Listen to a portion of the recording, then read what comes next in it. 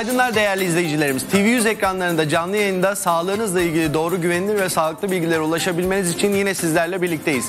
Bugün yine önemli bir konuyu konuşacağız ve önemli bir organımızı konuşacağız. Göz ve göz kapağını konuşacağız. Sayın e, yardımcı doçent doktor Fatih Atmaca hoş geldiniz efendim. Hoş bulduk Orhan Hocam. Sayın Teşekkür ederim. Size nasılsınız? Teşekkür ederim. İyiyim Her zaman de. çok dinç, dinamik gözüküyorsunuz. Eyvallah sağ olun sizler de öyle. Çok sağ olun. Şimdi e, göz kapağı estetiğini konuşacağız. Evet. Neden önemli göz kapağımız? Bir kere oradan başlayalım. Yani göz kapağımız çok önemli fonksiyonları mı var?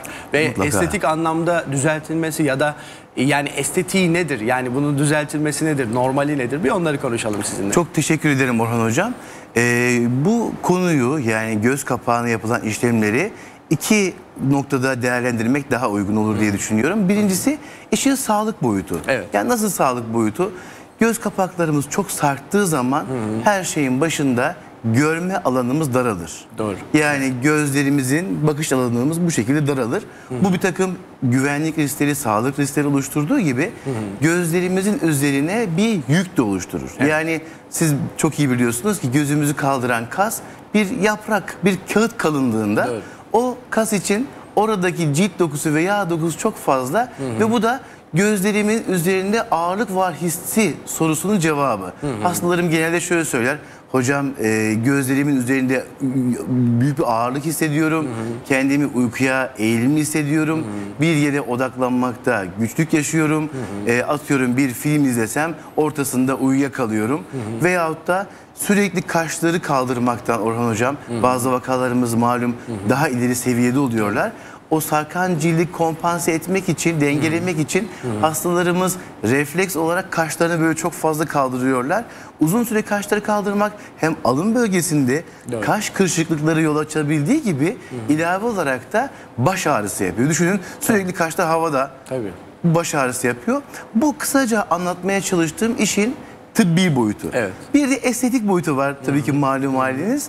Ee, şimdi sarkan kapaklar kişiyi yorgun, bitkin ve düşük enerjili gösterdiği gibi olduğundan daha da ileri yaşta gösteriyor. İlave olarak da hanımlar bu konuya çok dikkat ediyorlar. Kalemdir, e, efendim fardır bir takım göz kozmetikleri böyle durumlarda uygulanamıyor. bir de asimetri var. Bir göz daha fazla sarkmış, bir göz daha az sarkmış. Bütün bunları bir bütün halinde değerlendirip hastamızın ihtiyaçlarına yönelik böyle çalışmalar, yaklaşımlar sergiliyoruz. O zaman yani şimdi göz kapağı düşüklüğünden bahsediyoruz değil mi? Bu bir dejeneratif süreç mi? Yani yaşlanmaya mı bağlı, belli hastalıklarla mı oluşuyor bu göz kapağının düşüklüğü? Yani iç yapısındaki bu kas tabakası mı bozuluyor? İyi mi bakmıyoruz? Yani nasıl bir mekanizma ile bozuluyor? Yani gerçekten harika bir soru. Hastalarımızın sık sorduğu sorular. Hocam ben yani 26 yaşındayım ama neden böyle? Değil mi? Şimdi ifade buyurduğunuz gibi bir genetik boyutu var. Yani ailevi özellik var. Annesi, babası, teyzesi bakıyoruz. Kapaklarında sarkma, cilt deformasyonu hızlı derecede olmuş. İşin genetik boyutu var. Bir. İkinci olarak kişinin... genç yaşlarda çıkıyor Genç o yaşta da zaman. olabiliyor kesinlikle hocam. Bir de şöyle düşünelim hocam. Gece e, uyku düzensizliği yaşayan hastalarımız. Mesela e, uyku apne sendromu olabilir, anksiyete, depresyon gibi bazı sebeplerden gece uykusunu iyi alamayan veya siz değerli hocalarımız gibi gece nöbet tutan hemşirelerimiz, doktorumuz, polisimiz, askerimiz yani gece uyku düzensizliği olan hastalarımızda, insanlarda veya e, çok fazla tütün kullanımı, alkol tüketimi gibi durumlarda ve e, hızlı kilo alıp verilmesi gibi durumlarda cilt daha fazla, daha hızlı deform oluyor. Yağ ile cilt arasındaki bariyer gevşiyor, yağ fıtıklaşması oluyor. Yani bu üst kapaklarda yani göz kapak- kapağında bir fıtıklaşma oluyor aslında. Evet hocam mesela e, siz tabi biliyorsunuz burada seyircilerimize daha iyi anlatabilmek için bunu anlatmaya çalışıyoruz. E, gözümüzün içerisinde cildin altında kas var. Evet. Kasın altında bir bariyer var. O bariyerler gevşeyince yağ fıtıklaşıyor ve ne oluyor? Göz altı torbalarımız oluyor veya üst göz kapağı cildimiz aşağıya doğru sarkıyor. Bunlar az önce anlattığım sebeplerden dolayı daha erken yaşta da görülebiliyor. İlerleyen zamanlara da meydana gelebiliyor. Peki hocam tamam bu mekanik bir problem anladık ama genetik nedenler de var temelinde. Şimdi dediniz ki mesela uyku bozuklukları ya da düzensizlikler işte Evet. yorgunluk uzun süreli kronik bir yorgunluk süreci Evet. belki. Ee, bu telafi edilebilir mi? Yani mesela hemen ameliyat masasına gitmesi gerekir mi kişinin? Bu göz estetiği ya da göz kapağı ameliyatı endikasyonları dediğimiz yani hangi hastaya nasıl uygulanacak? Bunlarda nasıl karar veriyorsunuz? Ee, öncelikle hastamızın e, bu hale gelmemesi için çaba sarf ediyoruz. Ee, spor, Neler yapabilir? Spor, dengeli beslenme, Güzel. gün ışına karşı maruziyeti azaltmak ve uyku düzenini sağlamak gibi tütün kullanıyorsa tütün ürünleri onlardan uzak kalmak gibi önleyici tedbirleri alabildiğimiz kadar alıyoruz. Ama e, hastamızda asimetri var doğuştan. Veyahut da artık bu önlemleri alacak zaman biraz geç kalmış ve cilt çok sarkmış ve kişinin kirpiklerinin üzerine binmiş vaziyette bir kapak cildi var. Öyle sarkmış ki böyle ben buna yanaklara değen kapaklar diyorum. O kadar sarkmış ki bu bölge yanaklara O değiyor. düzeyde olabiliyor yani. Kesinlikle hocam. E böyle olunca kişi her gözünü açıp kapattığında bu sarkan cilt kirpiklere sürttüğünden kirpik dökünmeleri, ilave olarak kirpik diplerinde kaşıntı, kızarıklık, çapaklanma ve hastamızı şu şekilde yapmasından dolayı baş ağrısı gibi şikayetleri fazlaca gördüğümüz zaman bir de estetik kaygıları da beraber değerlendirdiğimizde o zaman işleme hastamızı uygun hale getirip öneriyoruz. Belki görme kayıpları da oluşuyor değil mi? Kesinlikle yani hocam. görmeyi de bozuyor. Belki bulanık Evet. görme bilmiyorum O ağırlıktan dolayı hafif katarakt. astigmat yapar, göz kuruluğu mi? yapar. Çünkü Göz göz, kuruluğu. bir bütün. O bütünün parametrelerinden bir tanesinde bir problem oldu mu öyle veya böyle diğer kısımlarda da aksamalar meydana geliyor. Peki hocam operasyon kararını verdik. Evet. Ee, hastamıza uygulanması gerekiyor. Nasıl bir işlemden bahsediyoruz? Yani e, nasıl bir prosedür? Lokal anestezi, işte narkoz veriliyor mu?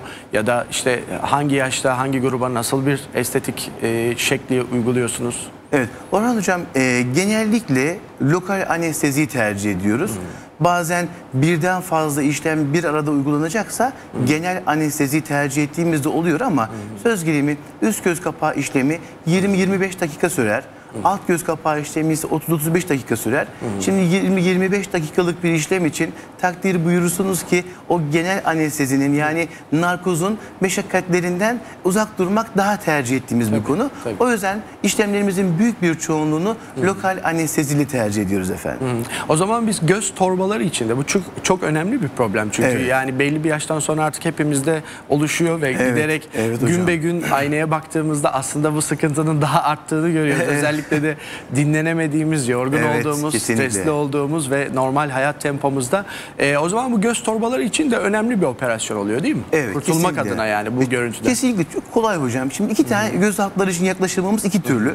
Eğer ciltte deformasyon yoksa yani cilt sarkmadı ise sadece yağ torbaları, yağ fıtıklaşmaları var ise o zaman içeriden dikişsiz endoskopik bir şekilde bu yağ torbalarından kurtuluyoruz. Güzel. E, dikiş dahi atılmadığı için e, hastamız günlük hayata hemen dönüyor. Harika.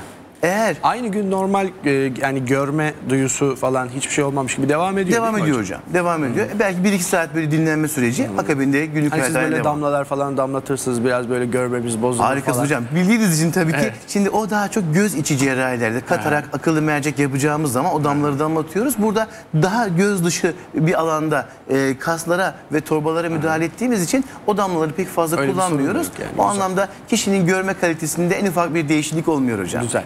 Hocam şimdi göz kapağımız e, tabii ki çok önemli. Gözümüz çok önemli. Yani Evet. her şeyi, dünyayı onunla görüyoruz sonuç Evet olarak hocam. ve olmazsa olmazımız. Bir de kaşlarımız var tabii. Biz şimdi güzelliğimize, estetiğimize de çok önem verir olduk. Yani hem bayanlar hem e, erkekler olarak.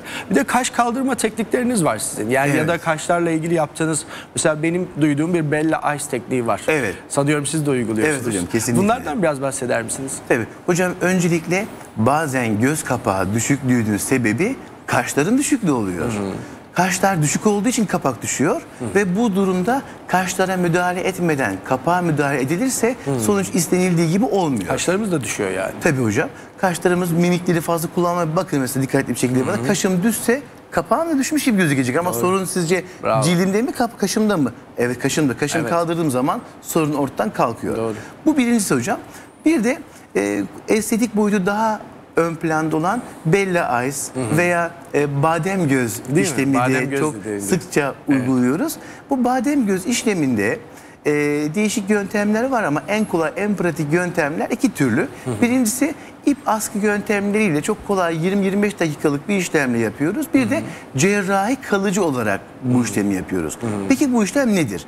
Bu işlem üst kapak kıvrımımızla alt kapak kıvrımımızın birleştiği yeri yaklaşık 35-45 derece yukarı doğru çekmek ilave olarak da kaşı da bu şekilde çekmektir. Ve Hanımlara çok yakışıyor. Hanımlar da bunun zaten farkında Orhan hocam.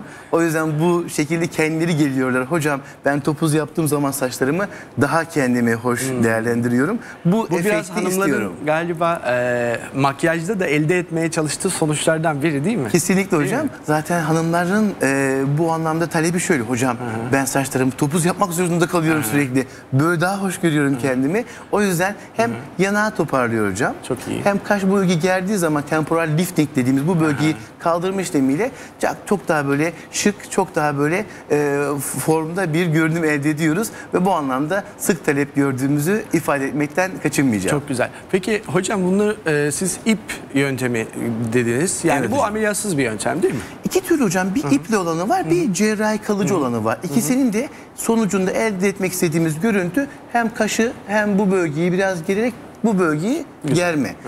İple yapıldığı zaman en son çıkan kaliteli ve kalıcılığı yüksek iplerin ömrü 2-2,5 yıl. Çok iyi. Bu ip yaparsak hiç kesi yok, hiç neşter yok, hiçbir güzel. kesi yok ve işlem 20 dakikada bunu elde ediyoruz.